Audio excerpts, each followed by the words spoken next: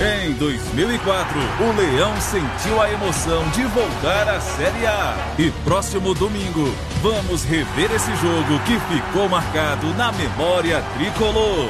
Fortaleza e Havaí. Futebol na Verdes Mares. Aqui é emoção. A emoção de ver o seu time fazendo história.